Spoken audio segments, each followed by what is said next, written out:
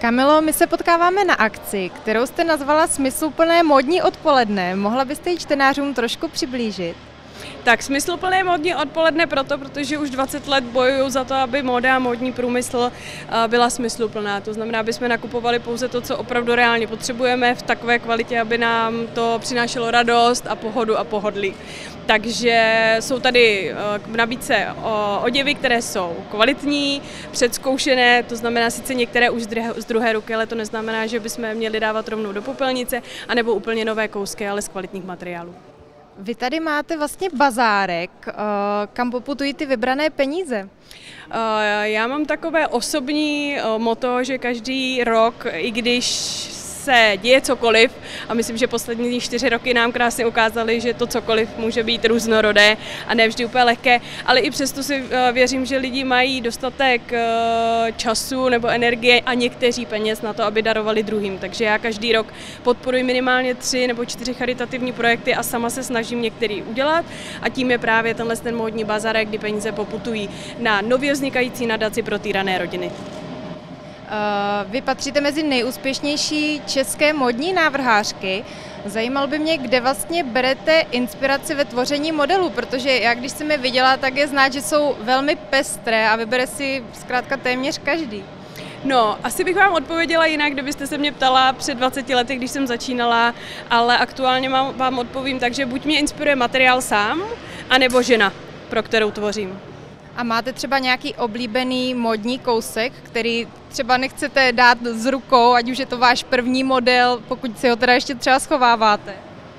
No, teď jste teda uh, zrovna uh, narazila na, na ten hlavičku pomysl toho, toho hřebíčku, protože zrovna, jak jsme připravovali bazárek, tak jsem narazila teda opravdu na první kus, který jsem dělala ještě na, na střední a jsou to velmi křivolaké uh, tepláky, které vznikaly tehdy tak, že jsem rozpárala jiné kalhoty, takže není to asi kus, na který jsem příliš hrdá, ale je v něm velikánský kus vzpomínek.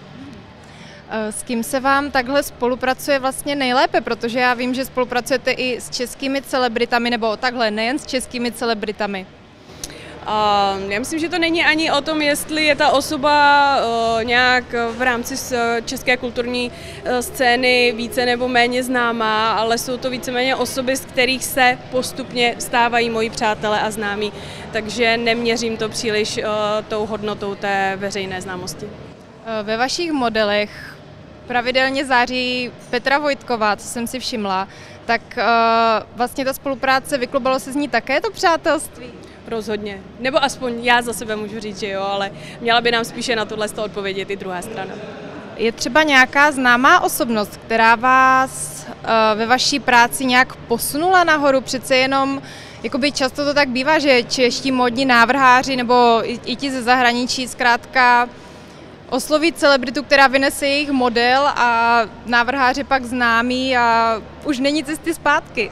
Já myslím, že to mám trošku jinak asi postavené, ale chápu smysl vaší otázky. Rozhodně ne, neberu spolupráci se známějšími osobami eh, jako nějaké šplhání po pomyslném žebříku.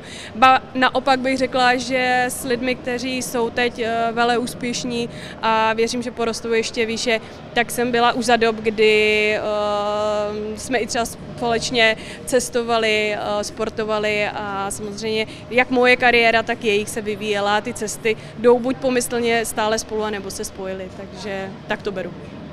Je třeba osobnost nebo člověk, kterého jste už odmítla, aby vlastně nosil váš model? Spíš to byly požadavky na tvorbu konkrétních modelů, a tak pár jich takových bylo, že to šlo za nějakou moji estetickou hranici nebo hodnotovou hranici, ať už to souvisí s násilím, přílišnou sexualitou ženského těla, laciným materiálem, anebo akcí, která příliš nesouzní s mými, s mými hodnotami. Takže to jde výdělek a i spolupráce pak stranou. Vy jste vlastně nejen návrhářka, ale také modní guru. A zajímalo by mě, jaká celebrita, ať už česká, zahraniční, se podle vás obléká nejlépe? Kdo je vaše inspirace? No, teď jste mě teda docela zaskočila.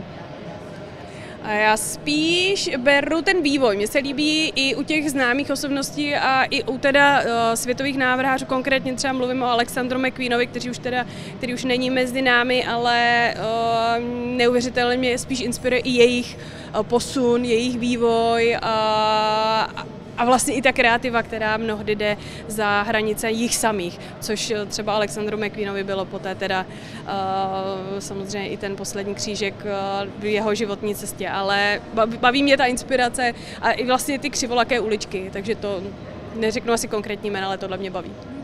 A jak byste takhle všeobecně vyhodnotila šatník Čechu? Přece jenom my jsme ještě takové šedé myšky oproti třeba Americe.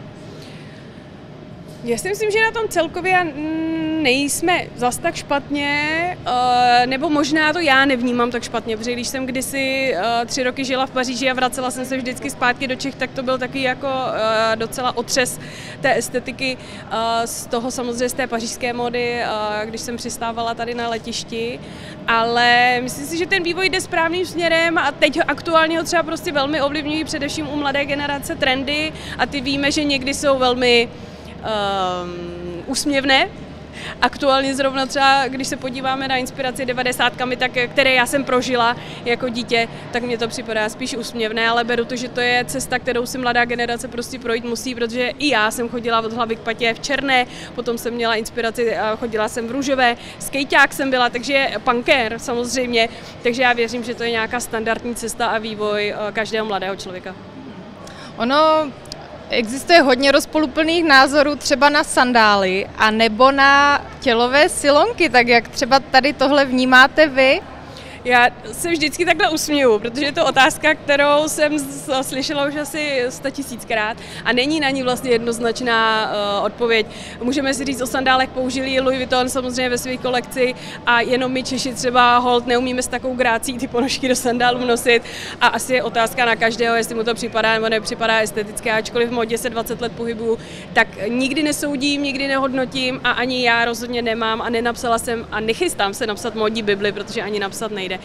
A to stejné na stylonky. Stylonky samozřejmě jinak vám odpoví Uh, pan Špaček z hlediska etikety a jinak vám odpovím třeba já z hlediska eh, stylingu a stylistiky, ale samozřejmě jsou rozhodně akce, uh, především politického a kulturního vysokého rázu, kam silonky rozhodně ano. A co byste třeba poradila lidem, jak se oblíkat, když se v té módě ztrácí a nemohou se z toho bludiště vymotat? Začít u sebe, sednout si možná se sklenkou toho, co vám chutná, uh, může to být čajík a nebo něco s bublinkami a, a zamyslet se, kdo vlastně jsem a co mi dělá dobře, jaké barvy mi dělají dobře a teprve potom jít a vyrazit, ať už do second handu nákupního centra nebo za nějakým návrhářem. Vy jste teďka vlastně i čerstvou maminkou, dá se stále říct, tak jak dokážete vlastně skloubit to mateřství s tou prací? Je to pro vás náročnější? Tak já už jsem si to odzkoušela, starší dceři je 6 let, uh, synovi teďka rok a naivně jsem si myslela, že jsem se před těmi 6 lety naučila eh, relativně dobře eh, kloubit logistiku na, na Entou a být uh, super efektivní. A zklamu samu sebe, protože každé dítě je úplně jiné a teď to teda opravdu je, je na vlnách, takže není to bez další pomoci. Máme babičky, které jsou pracující, takže se nemohou věnovat vnoučatům naplno a je to dobře, ať rozvíjí sami sebe, takže jenom hledám vlastně zase nov, nov, nový způsob té logistiky, skloubit svoji práci, kterou miluju a děti, které miluju.